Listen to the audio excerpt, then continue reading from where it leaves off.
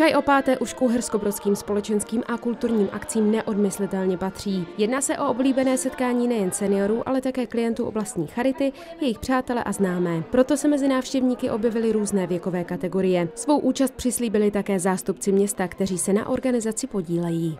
Tradičně se koná to, tento čaj o páté dvakrát za rok a vždycky to květnové ten termín má organizačně na starosti eh, oblastní charita Uherský Brod a podzimní eh, sociální služby Uherský Brod. Letošního ročníku se zúčastnilo více než 200 návštěvníků. Pro ně bylo připraveno nejen něco dobrého k jídlu i pití, ale také bohatý doprovodný program.